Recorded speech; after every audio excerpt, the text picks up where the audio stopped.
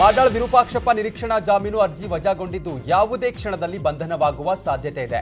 ಇವತ್ತು ಹೈಕೋರ್ಟ್ ವಿಚಾರಣೆಯ ವೇಳೆ ಲೋಕಾಯುಕ್ತರ ಪರ ವಕೀಲರು ಜಾಮೀನು ಅರ್ಜಿಗೆ ಪ್ರಬಲವಾದ ಆಕ್ಷೇಪ ವ್ಯಕ್ತಪಡಿಸಿದ್ರು. ಅಂತಿಮವಾಗಿ ಏಕಸದಸ್ಯ ಪೀಠ ಜಾಮೀನು ಅರ್ಜಿಯನ್ನು ವಜಾಗೊಳಿಸಿದೆ. ಶಾಸಕ ಮಾಡಾಳ್ ವಿರೂಪಾಕ್ಷಪ್ಪ ನಿರೀಕ್ಷಣಾ ಜಾಮೀನು ರದ್ದಾಗಿರೋದ್ರಿಂದ ಚನ್ನಗಿರಿ ಶಾಸಕ ಮಾಡಾಳ್ ವಿರೂಪಾಕ್ಷಪ್ಪ ದಿಢೀರ್ ಕ್ಷೇತ್ರವನ್ನ ತೊರೆದಿದ್ದಾರೆ. ಮಾಧ್ಯಮಗಳ ಜೊತೆ ಮಾತನಾಡುವಾಗಲೇ ಮಾಡಾಳ್ ಹೊರ ನಡೆದ್ರು. ದಯಮಾಡಿ ನನ್ನ ಪಾಡಿಗೆ ನನ್ನನ್ನು ಬಿಟ್ಟು ಬಿಡಿ ಅಂತ ಕೈ ಮುಗಿದು ಹೋದ್ರು. ಹಂಗಾಗಿ ಮಾಡಲೇಬೇಕಾಗ್ತದೆ. ನನ್ನ ಕಾಲದಲ್ಲಿ ಮುಂಜೂರಾಗಿ, ನನ್ನ ಕಾಲದಲ್ಲಿ ಮುಗಿಸಿರ್ತಕ್ಕಂಥವನ್ನ ಮಾಡಲೇಬೇಕಲ್ಲಪ್ಪ. ದಯಮಾಡಿ ನನ್ನ ಟಿ ವಿ ಮಾಧ್ಯಮ ಮಿತ್ರರು ನೀವೆಲ್ಲ ನನ್ನ ಸ್ನೇಹಿತರು ದಯಮಾಡಿ ನಾನು ನಿಕಟಿ ಸಿಗಿಸ್ಬೇಡ್ರಿ ನಿಮಗೆ ರಿಕ್ವೆಸ್ಟ್ ಮಾಡ್ತೇನೆ. ದಯಮಾಡಿ ನನಗೆ ಸಾಕು. ಎಸ್ಸಿ ಎಸ್ಟಿ ಮೀಸಲಾತಿ ಜಾರಿ ವಿಚಾರಕ್ಕೆ ಸಂಬಂಧಪಟ್ಟಂತೆ ಶಿಕಾರಿಪುರದಲ್ಲಿ ಲಂಬಾಣಿ ಸಮುದಾಯದವರಿಂದ ಪ್ರತಿಭಟನೆ ನಡೆದಿದೆ. ಈ ವೇಳೆ ಮಾಜಿ ಸಿಎಂ ಬಿಎಸ್ ಯಡಿಯೂರಪ್ಪ ಮನೆ ಮುಂದೆ ಬಂದ ಪ್ರತಿಭಟನಾಕಾರರು ಕಲ್ಲು, ಚಪ್ಪಲಿ ತೂರಾಟ ನಡೆಸಿ ಆಕ್ರೋಶ ವ್ಯಕ್ತಪಡಿಸಿದ್ದಾರೆ. ಈ ಮನೆ ಗೃಹ ಪ್ರವೇಶಕ್ಕೆ ಸಜ್ಜೆಗೊಂಡಿತ್ತು. ಮನೆಯ ಕಿಟಕಿ ಗಾಜುಗಳಿಗೆ ಹಾನಿಯಾಗಿದೆ. ಶಿಕಾರಿಪುರದಲ್ಲಿ ತಾಲೂಕು ಬಂಜಾರ ಸಮಾಜ ವತಿಯಿಂದ ಪ್ರತಿಭಟನೆ ನಡೆದಿದ್ದು, ಲಂಬಾಣಿ, ಬೋವಿ, ಕೊರಮ, ಕೊರಚ ಸಮುದಾಯದವರು ತೀವ್ರ ಆಕ್ರೋಶಗೊಂಡಿದ್ದಾರೆ. ಉದ್ರಿಕ್ತರನ್ನ ನಿಯಂತ್ರಿಸಲು ಪೊಲೀಸರು ಹರಸಾಹಸ ಪಟ್ಟಿದ್ದಾರೆ ಕಲ್ಲು ತೂರಾಟದಿಂದ ಕೆಲವು ಪೊಲೀಸ್ ಸಿಬ್ಬಂದಿಗೂ ಸಣ್ಣ ಪುಟ್ಟ ಗಾಯಗಳಾಗಿವೆ. ಸ್ಥಳಕ್ಕೆ ಹೆಚ್ಚುವರಿ ಪೊಲೀಸ್ ಅಧಿಕಾರಿಗಳು ಆಗಮಿಸಿದ್ದು ಹೆಚ್ಚಿನ ಸಿಬ್ಬಂದಿಯನ್ನ ರವಾನೆ ಮಾಡಿದ್ದಾರೆ. ಸದ್ಯ ಶಿಕಾರಿಪುರದಲ್ಲಿ ಒನ್ ಸೆಕ್ಷನ್ ಜಾರಿ ಮಾಡಲಾಗಿದೆ.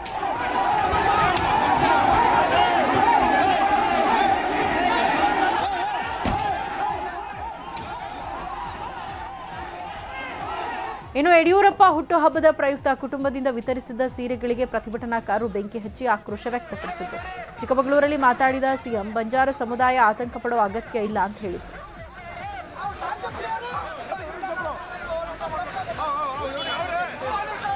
ನಾನು ಬಂಜಾರ ಸಮುದಾಯದ ಮುಖಂಡರಿಗೆ ವಿನಂತಿಯನ್ನು ಮಾಡ್ತಾ ಇದ್ದೀನಿ, ನಾವು ನಮ್ಮ ಕ್ಯಾಬಿನೆಟ್ ಸಬ್ ಕಮಿಟಿಯಿಂದ ಮಾಡಿದ್ದೇವೆ. ಅವರಿಗೆ ಒಂದು ಆತಂಕ ಇತ್ತು, ಎಸ್ ಸಿ ಲಿಸ್ಟನ್ನು ತೆಗಿತಾರೆ ಅಂತ. ನಾನೇ ಸ್ವಂತ ಆದೇಶವನ್ನು ಮಾಡಿ, ಇದು ಬೋವಿ ಲಂಬಾಣಿ ಎಲ್ಲ ಸಮುದಾಯಗಳು, ಕೊರ್ಚ, ಕುರ್ಮ, ಅವೆಲ್ಲವೂ ಕೂಡ ಎಸ್ ಸಿ ಲಿಸ್ಟಲ್ಲಿ ಇರ್ತದೆ.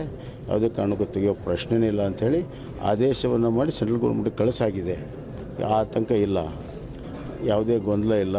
ನಿಮ್ಮ ಸಮುದಾಯದ ಹಿತರಕ್ಷಣೆ ಮಾಡಿದ್ದೇವೆ. ಇನ್ನು ಈ ದಾಳಿ ರಾಜಕೀಯ ಪ್ರೇರಿತವಾಗಬಹುದು ಅಂತ ಕೇಂದ್ರ ಸಚಿವ ಪ್ರಹ್ಲಾದ್ ಜೋಶಿ ಹೇಳಿದ್ದಾರೆ. ಕಾನೂನು ತಮ್ಮ ಕೈಗೆ ತೆಗೆದುಕೊಳ್ಬಾರ್ದು ಅನ್ನುವಂಥದ್ದು ಯಾವ ರೀತಿ ಎಲ್ಲರಿಗೂ ಅನುಕೂಲ ಆಗಿದೆ, ಎಲ್ಲರಿಗೂ ಒಪ್ಪಿತವಾದಂಥ ಸೂತ್ರದಲ್ಲಿ ಮಾಡಿದ್ದೇವೆ ಅನ್ನೋದು ಕನ್ವಿನ್ಸ್ ಮಾಡ್ತಾರೆ. ಯಾರೂ ಕಾನೂನು ತಮ್ಮ ಕೈಗೆ ತೆಗೆದುಕೊಳ್ಬಾರ್ದು ಅನ್ನುವಂಥ ವಿನಂತಿಯನ್ನು ನಾನು ಮಾಡ್ತೇನೆ. ಯಡಿಯೂರಪ್ಪನವರು ರಾಜ್ಯ ಕಂಡ ಮುಸ್ಲಿಂ ಸಮುದಾಯದ ಟು ಬಿ ಮೀಸಲಾತಿ ರದ್ದು ಮಾಡಿದ್ದಕ್ಕೆ ಕೊಪ್ಪಳದಲ್ಲಿ ಮುಸ್ಲಿಮರು ಬೃಹತ್ ಪ್ರತಿಭಟನೆ ಮಾಡಿದ್ರು. ಗಡಿಯಾರ ಕಂಬದ ಸರ್ಕಲ್ನಿಂದ ಅಶೋಕ್ ಸರ್ಕಲ್ವರೆಗೆ ಪ್ರತಿಭಟನಾ ರ್ಯಾಲಿ ನಡೆಸಿದ್ರು. ಬಿಜೆಪಿ ಹಾಗೂ ಬೊಮ್ಮಾಯಿ ಸರ್ಕಾರದ ವಿರುದ್ಧ ಆಕ್ರೋಶವನ್ನ ಹೊರಹಾಕಿದ್ರು. ಬೇರೆಯವರಿಗೆ ಮೀಸಲಾತಿ ನೀಡುವುದರ ಬಗ್ಗೆ ತಕರಾರಿಲ್ಲ. ನಮ್ಮ ಮೀಸಲಾತಿ ತೆಗೆದು ಸರ್ಕಾರ ಅನ್ಯಾಯ ಮಾಡಿದೆ ಅಂತ ಪ್ರತಿಭಟನಾಕಾರರು ಆಕ್ರೋಶವನ್ನ ಹೊರಹಾಕಿದ್ರು.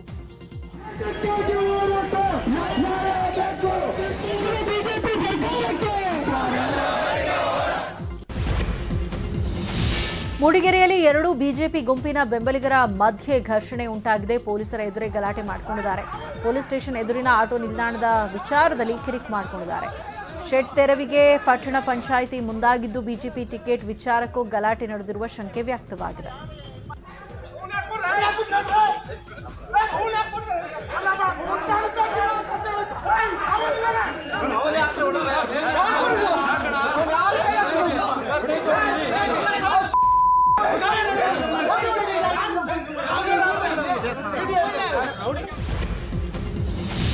ಗದಗದಲ್ಲಿ ನಡೆದ ಕಂದಾಯ ಗ್ರಾಮಗಳ ಹಕ್ಕುಪತ್ರ ವಿತರಣಾ ಕಾರ್ಯಕ್ರಮದಲ್ಲಿ ಜೋರು ಗಲಾಟೆ ನಡೆದಿದೆ. ಹಕ್ಕುಪತ್ರ ವಿತರಣೆಯಲ್ಲಿ ಜಿಲ್ಲಾಡಳಿತ ರಾಜಕೀಯ ಮಾಡಿದೆ. ಬಿಜೆಪಿ ಕಾರ್ಯಕರ್ತರಿಗೆ ಮಾತ್ರ ಹಕ್ಕುಪತ್ರ ನೀಡಿದ್ದಾರೆ ಅಂತ ಅಡವಿ ಸೋಮಾಪುರ ತಾಂಡದ ನಿವಾಸಿಗಳು ಗಲಾಟೆ ಮಾಡಿದ್ರು. ಹಲವು ವರ್ಷಗಳಿಂದ ನಾವು ಮನೆ ಮಾಡಿಕೊಂಡು ಒಂದೇ ಕಡೆ ವಾಸವಾಗಿದ್ದೇವೆ. ಆದರೆ ಹಕ್ಕುಪತ್ರ ಕೊಡ್ತೇವೆ ಅಂತ ನಮ್ಮನ್ನ ಕರೆಸಿ ಅನ್ಯಾಯ ಮಾಡಿದ್ದಾರೆ ಅಂತ ಗಲಾಟೆ ಮಾಡಿದ್ರು.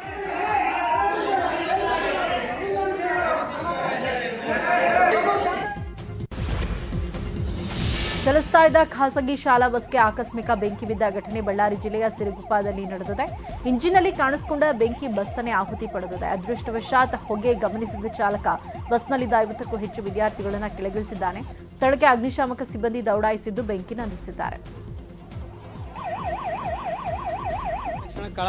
ನೋಡಿದೆ ಸರ್. ವೈ, ಡೀಸೆಲ್ ಪೈಪ್ ಸುಟ್ಟೋಗಿತ್ತು ವೈರ್ ಮೇಲೆ ಶಾರ್ಟ್ ಆಗಿದ್ಮೇಲೆ. ಅವ್ರಿಗೆ ಕೆಳಗೆ ಇಳಿಸಿ ಹುಡುಗರನ್ನ, ಆಮೇಲೆ ಬ್ಯಾಟ್ರಿ ಅವ್ರಿಗೆ ಕಿತ್ತಿದೆ ಸರ್.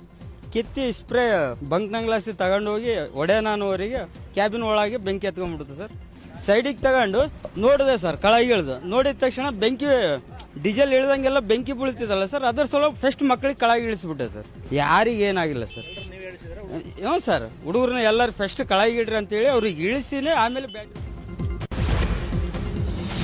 ಸಿಎಂ ಬೊಮ್ಮಾಯಿಗೆ ಶಿಗ್ಗಾವಿಯಲ್ಲಿ ಗೆಲುವು ಸುಲಭ ಅಲ್ಲ ಎಂದಿದ್ದಂಥ ಡಿಕೆ ಶಿವಕುಮಾರ್ಗೆ ಸಿಎಂ ಟಾಂಗ್ ಕೊಟ್ಟಿದ್ದಾರೆ. ಚಿಕ್ಕಬಳ್ಳಾಪುರದಲ್ಲಿ ಮಾತನಾಡಿದ ಅವರು, ರಿಸಲ್ಟ್ ಬರುವವರೆಗೆ ಡಿಕೆ ಶಿವಕುಮಾರ್ ಕಾದ್ ನೋಡಲಿ.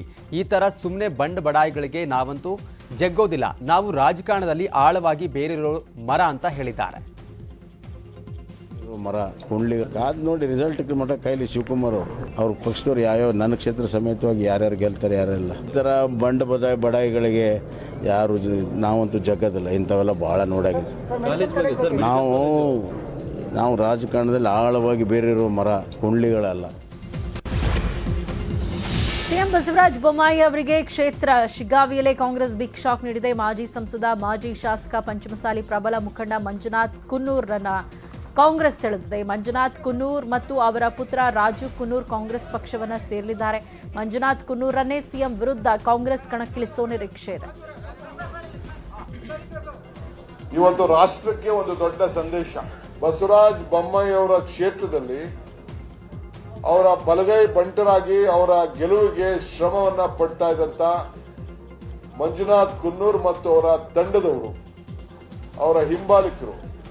ಬಿಜೆಪಿ ಇರುವಂತಹ ಸಾವಿರಾರು ಜನ ಹಿಂಬಾಲಿಕರು ಇವತ್ತು ಕಾಂಗ್ರೆಸ್ಗೆ ಮಲ್ಲಿಕಾರ್ಜುನ್ ಖರ್ಗೆ ಅವರ ಮುಖಂಡತ್ವದಲ್ಲಿ ಇವತ್ತು ಕಾಂಗ್ರೆಸ್ ಪಕ್ಷಕ್ಕೆ ಸೇರ್ಕೊಳ್ತಾ ಇದ್ದಾರೆ ಅಂತಂದ್ರೆ ಒಂದು ಹೊಸ ಗಾಳಿ, ಮೊದಲೊಂದು ಗಾಳಿ ಬಂತು.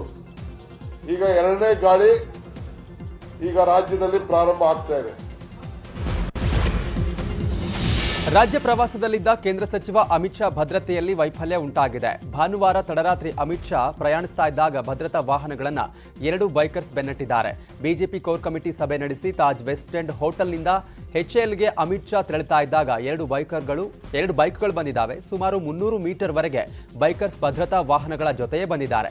ಅಮಿತ್ ಶಾ ಕಾರನ್ನ ಫಾಲೋ ಮಾಡಿದ್ದು ಆರ್ಟಿ ನಗರ ಖಾಸಗಿ ಕಾಲೇಜಿನ ಇಮ್ರಾನ್ ಹಾಗೂ ಜಿಬ್ರಾನ್ ಎಂಬ ಮಾಹಿತಿ ಸಿಕ್ಕಿದೆ. ಸದ್ಯ ಇಬ್ರನ್ನ ಕೂಡ ವಶಕ್ಕೆ ಪಡೆದು ವಿಚಾರಣೆ ನಡೆಸಲಾಗ್ತಿದೆ. ಮುಖ್ಯಮಂತ್ರಿ ಬಸವರಾಜ ಬೊಮ್ಮಾಯಿ ತೊಂಬತ್ನಾಲ್ಕು ಕೋಟಿ ವೆಚ್ಚದಲ್ಲಿ ನಿರ್ಮಾಣವಾಗ್ತಾ ಇರುವ ನಂದಿ ಹಿಲ್ಸ್ ರೋಪ್ ವೇ ಶಂಕುಸ್ಥಾಪನೆ ಮಾಡಿದ್ರು. ಜೊತೆಗೆ ಜಿಲ್ಲೆಯಲ್ಲಿ ಎಂಟುನೂರು ಕೋಟಿ ವೆಚ್ಚದಲ್ಲಿ ನಿರ್ಮಾಣವಾಗಿದ್ದ ಸರ್ಕಾರಿ ಮೆಡಿಕಲ್ ಕಾಲೇಜು ಕಟ್ಟಡವನ್ನು ಉದ್ಘಾಟಿಸಿದ್ದಾರೆ. ಈ ವೇಳೆ ಸಿಎಂ ಬೊಮ್ಮಾಯಿ ಅವರಿಗೆ ಆರೋಗ್ಯ ಖಾತೆ ಸಚಿವ ಡಾಕ್ಟರ್ ಕೆ ಸುಧಾಕರ್ ಸಾಥ್ ನೀಡಿದ್ದು. ಬಳಿಕ ಚಿಕ್ಕಬಳ್ಳಾಪುರ ತಾಲೂಕಿನ ಸೊಲಲಾಪನ ದಿನ್ನೆಯಲ್ಲಿ ಅವಳಿ ಜಿಲ್ಲೆಗಳ ಸಮಾವೇಶಕ್ಕೆ ಚಾಲನೆ ನೀಡಿದರು. ಇವತ್ತು ಚಿಕ್ಕಬಳ್ಳಾಪುರ ಜಿಲ್ಲೆಗೆ ಐತಿಹಾಸಿಕ ದಿನ. ಕೇವಲ ಮೂರು ವರ್ಷದ ಹಿಂದೆ ಯಾರೂ ಕೂಡ ಚಿಕ್ಕಬಳ್ಳಾಪುರ ಜಿಲ್ಲಾ ಕೇಂದ್ರದಲ್ಲಿ ಮೆಡಿಕಲ್ ಕಾಲೇಜ್ ಆಗ್ತದೆ ಅಂತ ಯಾರೂ ಕೂಡ ಊಹಿಸಿರಲಿಲ್ಲ. ಸನ್ಮಾನ್ಯ ಡಾಕ್ಟರ್ ಸುಧಾಕರ್ ಅವರು ಈ ಒಂದು ಮೆಡಿಕಲ್ ಕಾಲೇಜ್ ಆಗಬೇಕು. ಚಿಕ್ಕಬಳ್ಳಾಪುರ ಸಮಗ್ರ ಅಭಿವೃದ್ಧಿ ಆಗಬೇಕು ಅಂತ ಹೇಳಿ ತಮ್ಮ ರಾಜೀನಾಮೆಯನ್ನು ಕೊಟ್ಟು ನಮ್ಮ ಜೊತೆಗೆ ಸೇರಿ ಆರೋಗ್ಯ ಸಚಿವರಾದ ಮೇಲೆ, ವೈದ್ಯಕೀಯ ಶಿಕ್ಷಣ ಸಚಿವರಾದ ಮೇಲೆ ಅವರು ತೆಗೆದುಕೊಂಡಿರುವಂಥ ಮೊಟ್ಟ ಮೊದಲನೆಯ ತೀರ್ಮಾನ ನನ್ನ ಜಿಲ್ಲೆಗೆ ವೈದ್ಯಕೀಯ ಕಾಲೇಜ್ ಆಗಬೇಕು. ಈ ಭಾಗದ ಜನರಿಗೆ ವೈದ್ಯಕೀಯ ಸೇವೆ ಸಿಗಬೇಕು. ನಾನು ಇಲಾಖೆಯ ಮುಖ್ಯಸ್ಥನಾಗಿರಿದು ನನ್ನ ಕರ್ತವ್ಯ ಅಂತ ಹೇಳಿ ಅವರು ಮಾಡಿದ್ದಾರೆ. ಇವತ್ತು ಅದರ ಉದ್ಘಾಟನೆ ಆಗ್ತಾ ಇದೆ. ಬೃಹತ್ ಮೆಡಿಕಲ್ ಕಾಲೇಜ್ ಆಗಿ ಒಂದು ಸಾವಿರ ಬೆಡ್ಡು ಆಸ್ಪತ್ರೆಯಾಗಿ ಈ ಜಿಲ್ಲೆಯ ಕಟ್ಟಕಡೆಯ ಬಡವರಿಗೆ ಆರೋಗ್ಯ ಸೇವೆ ಕೊಡುವಂತ ಒಂದು ಪ್ರಮುಖ ಕೇಂದ್ರವಾಗಿ ಇವತ್ತು ಉದ್ಘಾಟನೆ ಆಗ್ತಾ ಇದೆ. ಅದರ ಶ್ರೇಯಸ್ಸು ಸಂಪೂರ್ಣವಾಗಿ ಡಾಕ್ಟರ್ ಸುಧಾಕರ್ಗೆ ಹೋಗಬೇಕು. ತಾವೆಲ್ಲರೂ ಕೂಡ ಅವರಿಗೆ ಅಭಿನಂದನೆಯನ್ನ ಸಲ್ಲಿಸಬೇಕು ಅಂತ ಈ ಸಂದರ್ಭ ಪಡ್ತೀನಿ